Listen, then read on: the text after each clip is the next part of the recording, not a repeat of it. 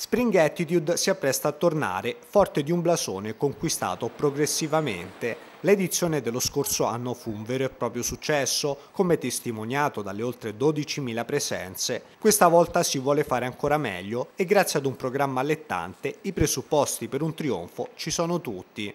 Speriamo di, di aumentare le, le, presenze, insomma, di passare da 12.000 magari a 15.000, 16.000, insomma questo è l'augurio. Dal 19 al 21 maggio il pubblico avrà l'imbarazzo della scelta. Al Maxi a Spazio 900 e all'ex caserma Guido Reni si alterneranno DJ set, concerti e workshop, vera novità di una settima edizione ormai ai nastri di partenza. Siamo riusciti anche ad avviare questa sezione educazione in collaborazione con la Rome University of Fine Arts che ci ha dato la possibilità di organizzare tre workshop, due per adulti, dunque studenti e addetti ai lavori e uno ai più piccoli. Quelli per, per adulti saranno a cura dell'artista John Duncan eh, intitolato Red Sky, e quello per, eh, sempre per adulti a cura di Otolab verte sulla luce, titolato Suonare la luce e poi la grande novità anche il workshop per bambini, bambini di età compresa tra i 6 6 e i 10 anni. Per quanto riguarda i nomi, sono da segnalare le presenze dei francesi Air, di Gold Panda, John Duncan, Matthew Herbert, ma guai a sottovalutare Clap Clap e Io sono un cane, artista capace di stupire la critica nostrana grazie al suo ultimo disco intitolato Die. Ci sono delle sperimentazioni anche se di artisti italiani di grande talento, Giorgio Gigli che presenterà in anteprima un live